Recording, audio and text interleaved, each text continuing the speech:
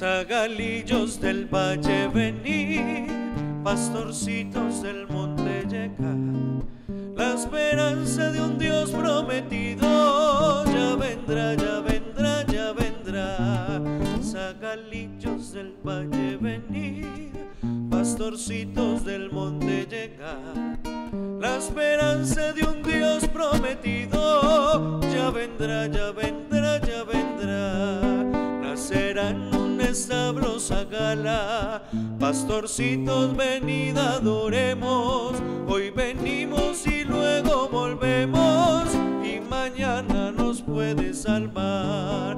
Nacerá en un establo gala, pastorcitos venid adoremos. Hoy venimos y luego volvemos y mañana nos puede salvar. Zagalillos del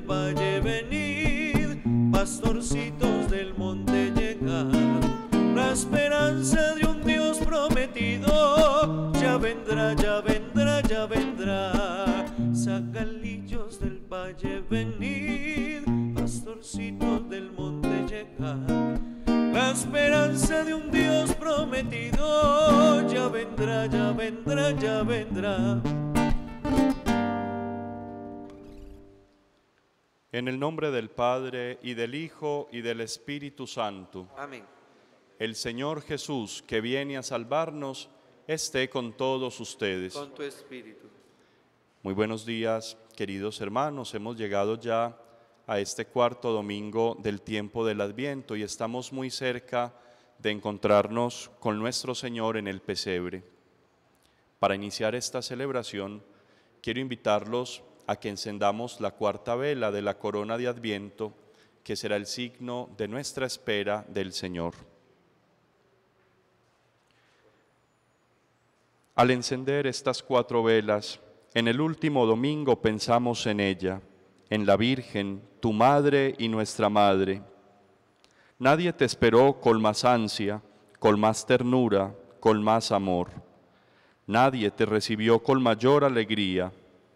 Te sembraste en ella como el grano de trigo se siembra en el surco, y en sus brazos encontraste la cuna más hermosa. También nosotros queremos prepararnos así, en la fe, en el amor y en el trabajo de cada día. Ven pronto, Señor, ven a salvarnos.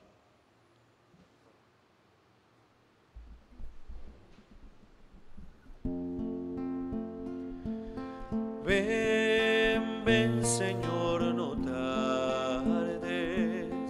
Ven, ven que te esperamos. Ven, ven Señor,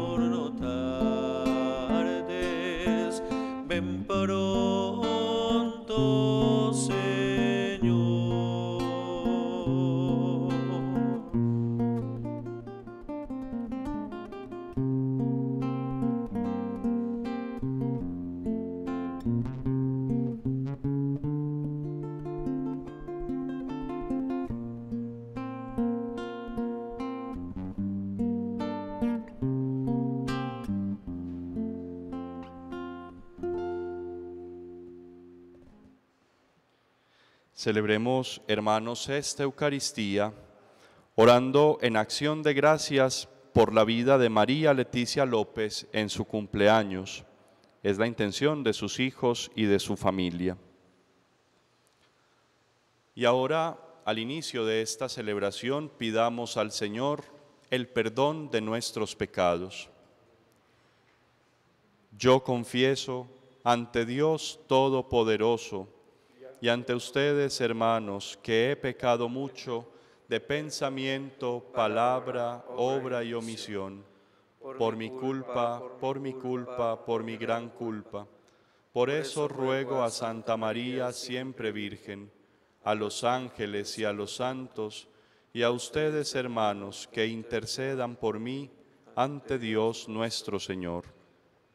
Dios Todopoderoso, tenga misericordia de nosotros, perdone nuestros pecados y nos lleve a la vida eterna.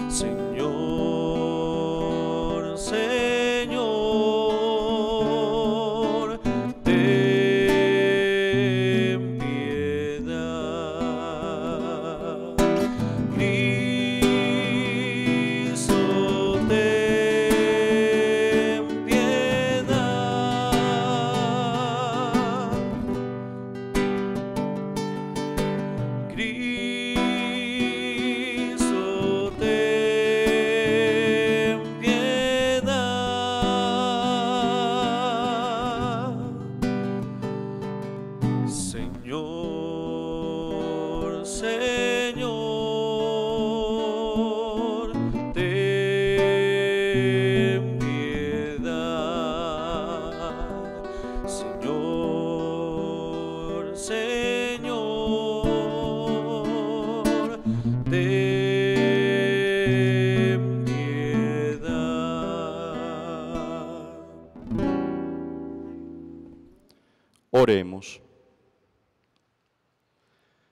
Derrama, Señor, tu gracia en nuestros corazones, para que quienes hemos conocido por el anuncio del ángel la encarnación de tu Hijo, lleguemos por su pasión y su cruz a la gloria de la resurrección. Por nuestro Señor Jesucristo, tu Hijo, que vive y reina contigo en la unidad del Espíritu Santo y es Dios por los siglos de los siglos. Amén. Lectura del segundo libro de Samuel. Cuando el rey David se estableció en su palacio y el Señor le dio la paz con todos los enemigos que le rodeaban, el rey dijo al profeta Natán, Mira, yo estoy viviendo en casa de cedro mientras el arca del Señor vive en una tienda. Natán respondió, Ve y haz cuanto piensas, pues el Señor está contigo. Pero aquella noche recibió Natán la siguiente palabra del Señor. Ve y dile a mi siervo David, así dice el Señor, ¿eres tú quien me va a construir una casa para que habite en ella? Yo te saqué de los apriscos, de andar tras las ovejas para que fe- fueras jefe de mi pueblo de Israel. Yo estaré contigo en todas tus empresas. Acabaré con tus enemigos. Te haré famoso como a los más famosos de la tierra. Te daré un puesto a Israel, mi pueblo. Lo plantaré para que viva en él sin sobresaltos. Y en adelante no permitiré que los malvados lo aflijan como antes, cuando nombré jueces para gobernar a mi pueblo Israel. Te pondré en paz con todos tus enemigos, te haré grande y te haré una dinastía. Y cuando tus días se hayan cumplido y te acuestes con tus padres, afirmaré después de ti la descendencia que saldrá de tus entrañas y consolidaré el trono de su realeza. Yo seré para el Padre y él será para mí hijo. Tu casa y tu reino durarán por siempre en mi presencia. Tu trono permanecerá por siempre. Palabra de Dios. Cantaré eternamente tus misericordias, Señor. Cantaré eternamente tus misericordias, Señor. Cantaré eternamente las misericordias del Señor, anunciaré tu fidelidad por todas las edades, porque dije, tu misericordia es un edificio eterno, más que el cielo has afianzado tu fidelidad. Sellé una alianza con mi elegido, jurando a David mi siervo. Te fundaré un linaje perpetuo, edificaré tu trono para todas las edades. Él me invocará, tú eres mi Padre, mi Dios, mi roca salvadora. Le mantendré eternamente mi favor y mi, alianza con Él será estable. Lectura de la carta del apóstol San Pablo a los romanos. Hermanos, al que puede forta- fortaleceros según el Evangelio que yo proclamo, predicando a Cristo Jesús, revelación del ministerio mantenido en secreto durante siglos eternos y manifestando ahora en los escritos proféticos, dado a conocer por decreto de Dios eterno, para traer a todas las naciones la obediencia de la fe al Dios, único sabio por Jesucristo, la gloria por los siglos de los siglos. Amén. Palabra de Dios.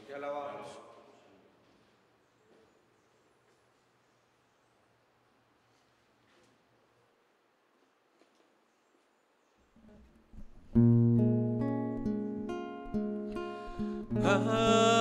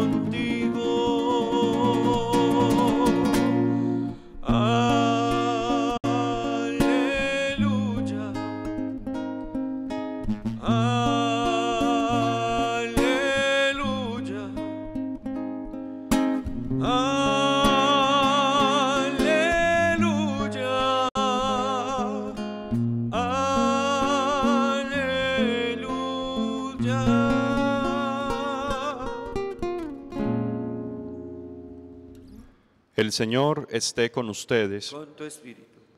Lectura del Santo Evangelio según San Lucas. Gloria a ti, Señor.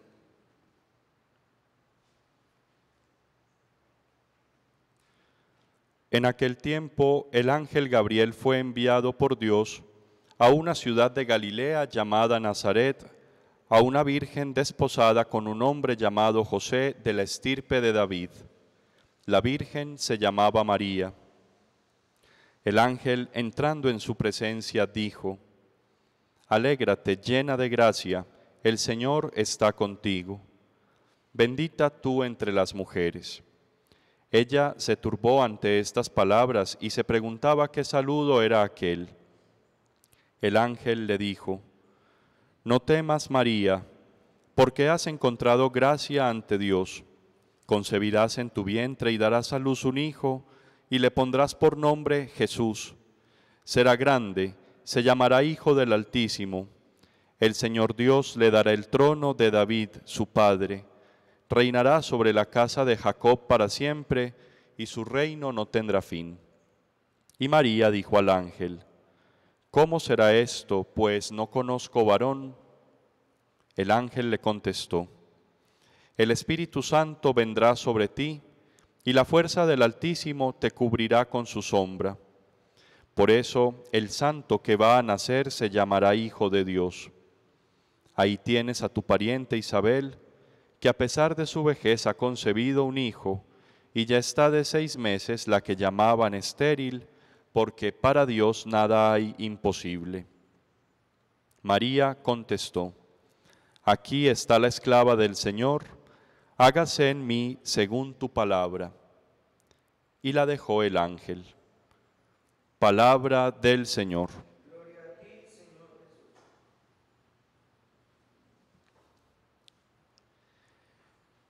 El Evangelio de este día que la Iglesia nos ha querido transmitir ya a punto de llegar a la fiesta de la Navidad es un Evangelio que se debe proclamar y escuchar con una profunda devoción, como lo es todo el Evangelio. Pero este en particular a mí personalmente me llama la atención porque es un diálogo salvífico que cambió la historia de la humanidad.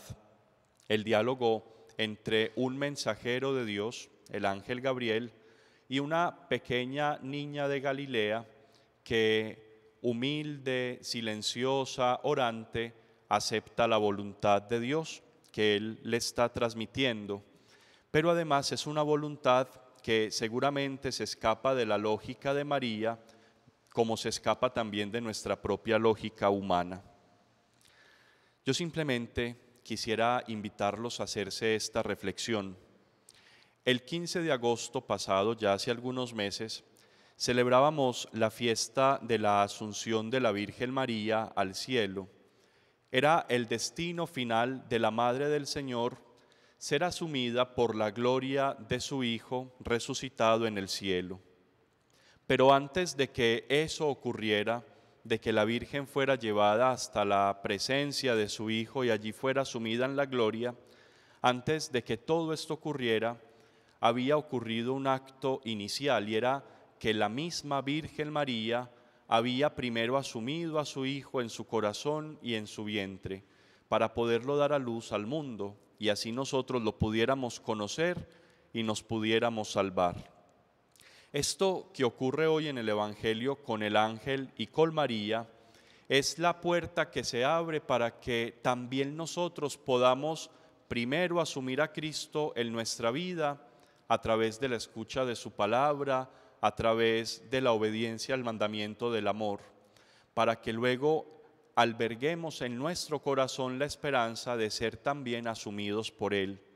Es un movimiento recíproco nosotros lo asumimos para que Él también a nosotros nos asuma. Dentro de muy pocos días, dentro de cinco días, estaremos celebrando una vez más la Navidad.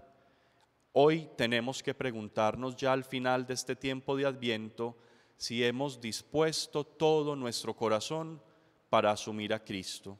Si como decía la primera lectura, ya le hemos permitido a Dios que construya una casa para su Mesías, para que Él venga a habitar y a morar en nosotros. Si es así, entonces hemos celebrado con mucho provecho este tiempo del Adviento. Pero si todavía sentimos que nos falta preparación, tenemos unos pocos días más para que revisemos nuestra vida, para que abramos espacio en el corazón para Cristo y para que así dignamente y con provecho espiritual celebremos entonces el tiempo de la Navidad.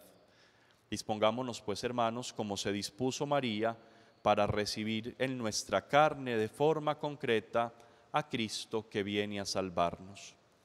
Amén. Yo los invito ahora, hermanos, para que todos juntos hagamos la profesión de nuestra fe. Creo en Dios Padre Todopoderoso, Creador del cielo y de la tierra.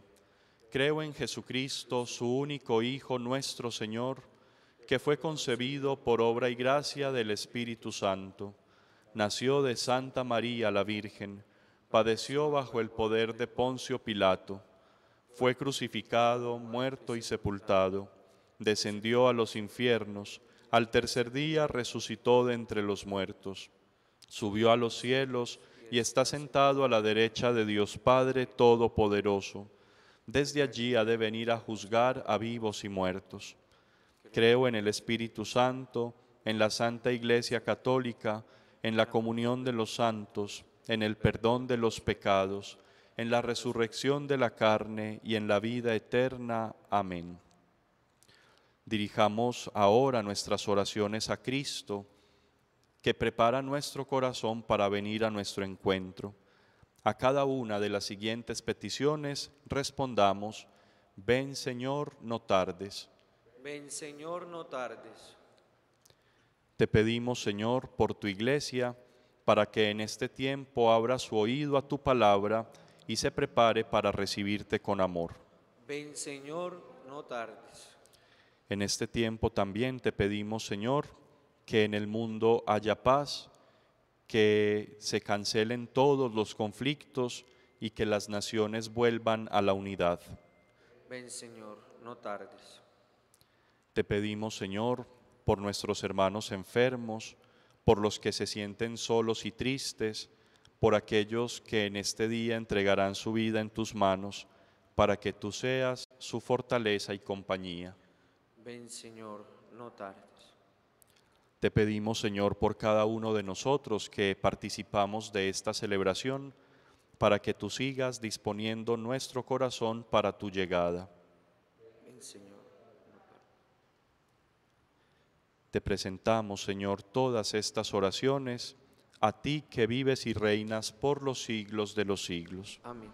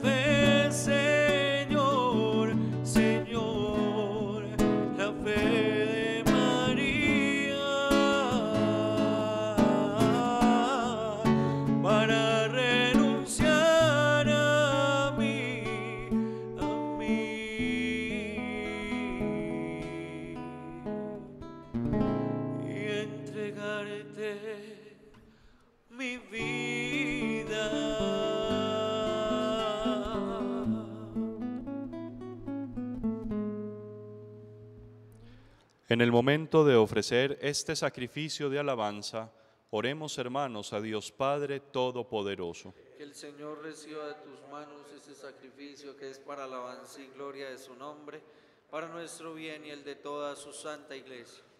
Que el mismo Espíritu que fecundó con su virtud las entrañas de María, santifique, Señor, los dones que hemos colocado sobre tu altar.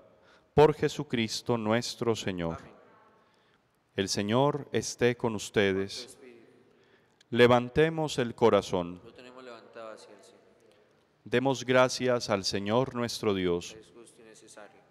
En verdad es justo darte gracias, Señor Padre Santo, Dios Todopoderoso y Eterno, y alabarte, bendecirte y glorificarte por el misterio de la Virgen Madre. Porque si del antiguo adversario nos vino la ruina, en el seno virginal de la hija de Sión ha germinado aquel que nos nutre con el pan de los ángeles, y ha brotado para todo el género humano la salvación y la paz. La gracia que Eva nos arrebató nos ha sido devuelta en María. En ella, Madre de todos los hombres, la maternidad redimida del pecado y de la muerte se abre al don de una vida nueva. Y así, donde había abundado el pecado, se ha desbordado tu misericordia en Cristo nuestro Salvador. Por eso nosotros, mientras esperamos la venida de Cristo, unidos a los ángeles y a los santos, cantamos el himno de tu gloria.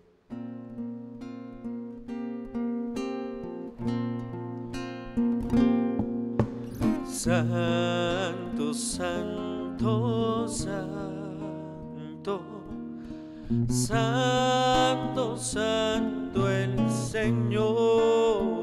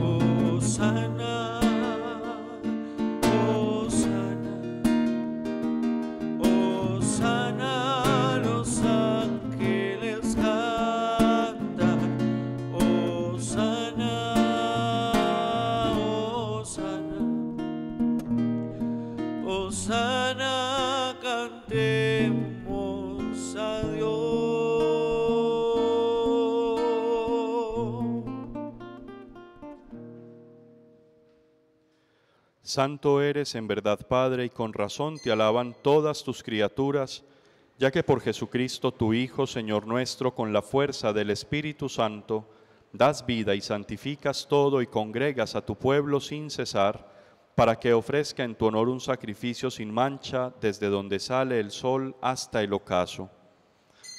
Por eso, Padre, te suplicamos por el mismo Espíritu, que santifiques estos dones que hemos separado para ti, de manera que se conviertan en el cuerpo y la sangre de Jesucristo, Hijo tuyo y Señor nuestro, que nos mandó celebrar estos misterios. Porque él mismo la noche en que iba a ser entregado tomó pan y dando gracias te bendijo, lo partió y lo dio a sus discípulos diciendo, Tomad y comed todos de él, porque esto es mi cuerpo que será entregado por vosotros.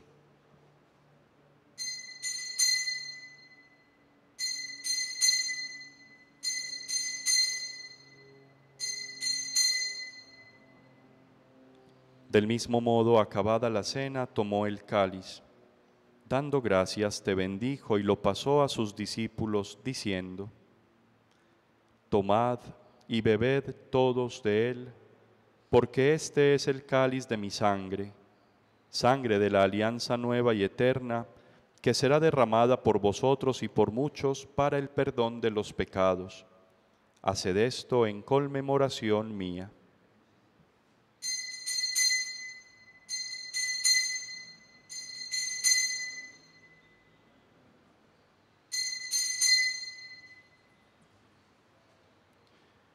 Hermanos, este es el sacramento de nuestra fe. Anunciamos su muerte, proclamamos su resurrección. Ven, Señor Jesús.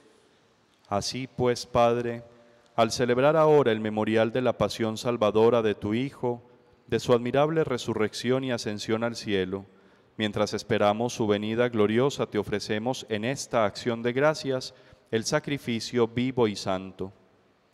Dirige tu mirada sobre la ofrenda de tu iglesia y reconoce en ella la víctima por cuya inmolación quisiste devolvernos tu amistad, para que fortalecidos con el cuerpo y la sangre de tu Hijo, y llenos de su Espíritu Santo, formemos en Cristo un solo cuerpo y un solo espíritu.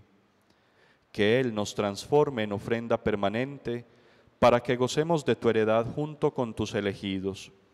Con María, la Virgen Madre de Dios, su esposo San José, los apóstoles y los mártires y todos los santos, por cuya intercesión confiamos obtener siempre tu ayuda. Te pedimos, Padre, que esta víctima de reconciliación traiga la paz y la salvación al mundo entero. Confirma en la fe y en la caridad a tu iglesia peregrina en la tierra, a tu servidor el Papa Francisco, a nuestro obispo Ricardo, al orden episcopal, a los presbíteros y diáconos y a todo el pueblo redimido por ti. Atiende los deseos de esta familia que has congregado en tu presencia en el domingo, día en que Cristo ha vencido a la muerte y nos ha hecho partícipes de su vida inmortal. Reúne en torno a ti, Padre misericordioso, a todos tus hijos dispersos por el mundo, a nuestros hermanos difuntos y a cuantos murieron en tu amistad, recíbelos en tu reino, donde esperamos gozar todos juntos de la plenitud eterna de tu gloria. Oramos también en acción de gracias por la vida de María Leticia López en su cumpleaños. Por Cristo, Señor nuestro, por quien concedes al mundo todos los bienes. Por Cristo, con Él y en Él a ti Dios Padre Omnipotente, en la unidad del Espíritu Santo, todo honor y toda gloria por los siglos de los siglos. Amén.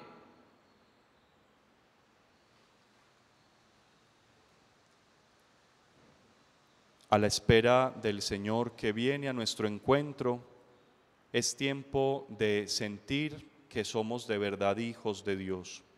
Unámonos ahora con esta oración de los hijos pidiéndole al Padre que venga pronto su reino. Digamos juntos, Padre nuestro que estás en el cielo, santificado sea tu nombre, venga a nosotros tu reino, hágase tu voluntad en la tierra como en el cielo. Danos hoy nuestro pan de cada día, perdona nuestras ofensas, como también nosotros perdonamos a los que nos ofenden. No nos dejes caer en la tentación y líbranos del mal.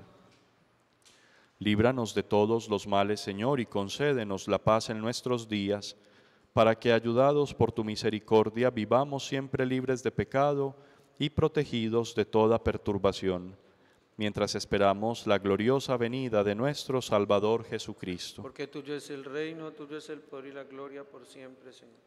Señor Jesucristo, que dijiste a tus apóstoles, la paz os dejo, mi paz os doy. No tengas en cuenta nuestros pecados, sino la fe de tu iglesia, y conforme a tu palabra concédele la paz y la unidad. Tú que vives y reinas por los siglos de los siglos. Amén. Que la paz del Señor esté siempre con ustedes. En tu espíritu.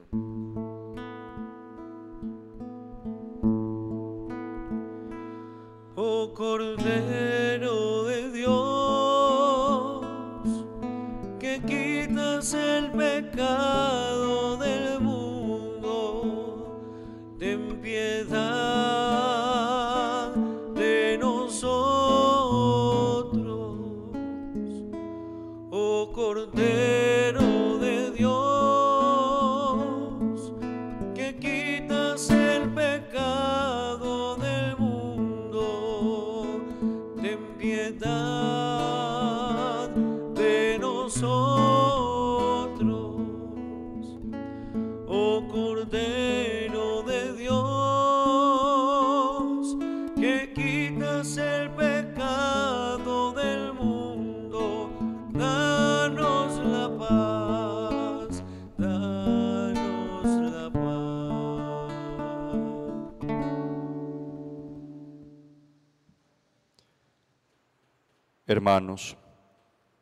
aquí está Jesús, Él es el Cordero de Dios que quita el pecado del mundo. Dichosos los invitados a la cena del Señor. Señor, yo no soy digno de que entres en mi casa, pero una palabra tuya bastará para sanar. La Virgen concebirá y dará a luz un hijo y le pondrá por nombre Emmanuel.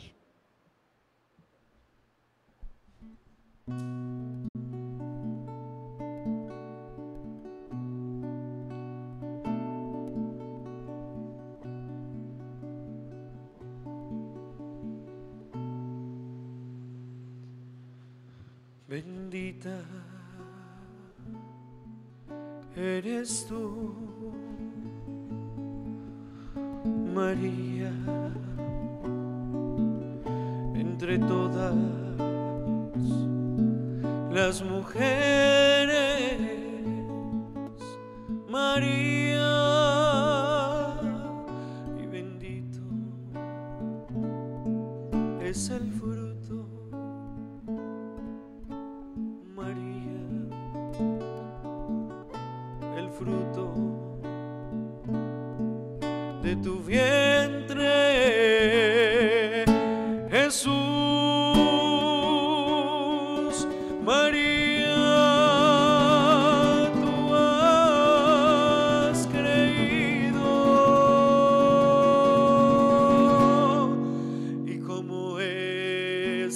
madre del Señor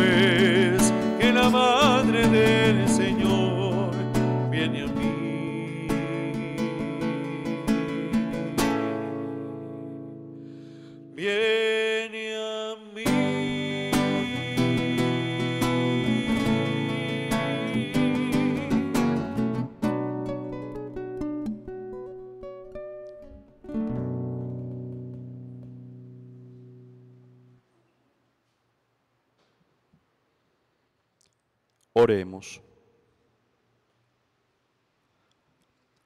Habiendo recibido la prenda de la eterna redención, te pedimos, Dios Todopoderoso, que cuanto más se acerca la fiesta de la salvación, tanto más crezca nuestro fervor para celebrar dignamente el nacimiento de tu Hijo, que vive y reina por los siglos de los siglos.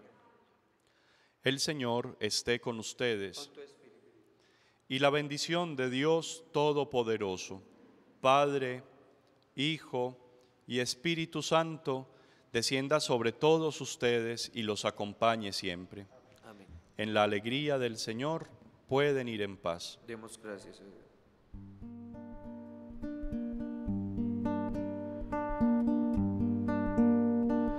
en el portal de Belén hay estrellas, sol y luna, la Virgen y San José y el niño que está en la cuna. Pero mira cómo beben los peces en el río, pero mira cómo beben por ver a Dios nacido.